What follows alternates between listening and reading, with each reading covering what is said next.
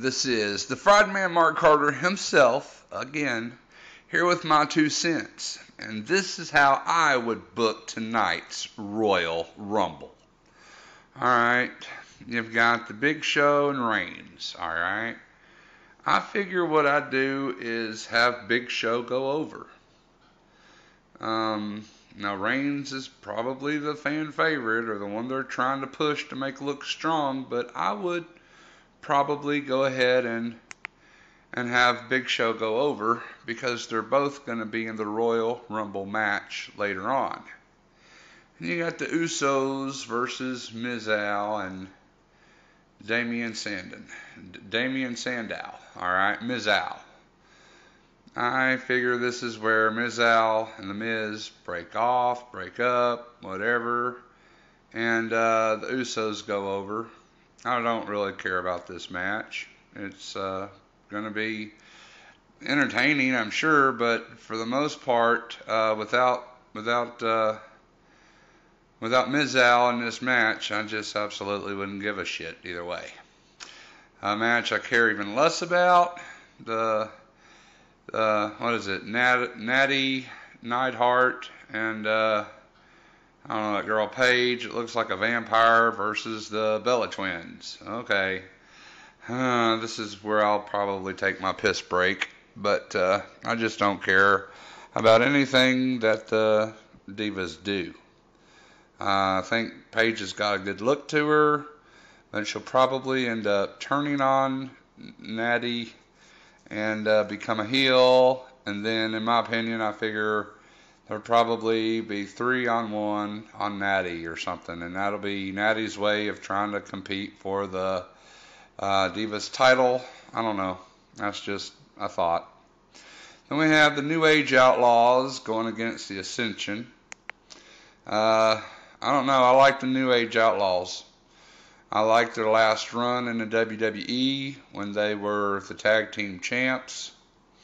I really don't see anyone giving a shit if the Ascension were to win. So there you go. That's my take on that match.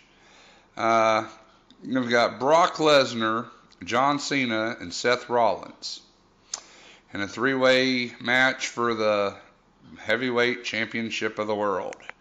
All right. Well, I think the only reason they put Seth Rollins in this match was so that uh, John Cena could pin him, or Brock Lesnar could pin him.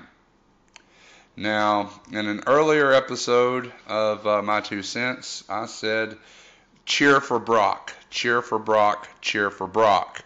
And the reason why is because he's the only attraction they've got worth a damn right now, in my opinion. And uh, yeah, he's a part timer, but when he's on, he is on. And, uh, and we need to let him know, hey Brock, we love you, man, because he's probably going to wind up going to the UFC. So uh, I, am hoping Brock Lesnar wins. Uh, given the WWE's history, they'll probably put over Cena. I don't know. I hope not. I'm hoping Brock wins all the way. All right. Now we get down to the main event the uh, Royal Rumble match itself. And I believe it's going to be a two way dance between uh, Daniel Bryan and Roman Reigns. I do. And when uh, Dan Daniel Bryan is eliminated, people are going to shit on the match. And then if Roman Reigns goes over, they're going to boo louder than they did when Batista won it the year before because we don't want to have Roman Reigns shoved down our throats. He's just not ready. Uh, I want Daniel Bryan to win. Okay? Anyone but Roman Reigns. But if, if I had one person I wanted to see win, it would be uh, Daniel Bryan. Now, earlier I said the Big Show and Roman Reigns you know, uh, Big Show would go over. I figure Reigns will eliminate him. All right. The Miz and Mizdow, they're also in this Royal Rumble match. So I, I can see some story advancing between their split up. Either Miz will eliminate Mizdow and uh, people will boo the Miz, or Mizdow will become Damien Sandow again, thank God, and be the star that he's meant to be. I figure uh, the Mizdow, uh, Damien Sandow will eliminate the Miz to Cheers. So either way, it's just you know, uh, surprise returns. Everybody's talking about Randy Orton, you know, and he could figure into the equation or whatever. But then one name that hasn't been mentioned, at least I haven't heard a lot of talk about, would be uh, what about Sheamus? I don't know if he's injured or what his story is, but I'd love to see Sheamus come back. And if anybody had to eliminate Daniel Bryan, what a great way to get some heel heat on Sheamus. I don't know. That's another idea I have.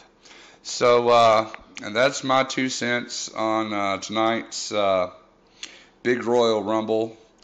Kind of excited about it. It's my favorite pay per view of the year and uh, I will be recording my first ever episode of The Mac Attack, which will be my review show of tonight's Royal Rumble. So be on the lookout for that.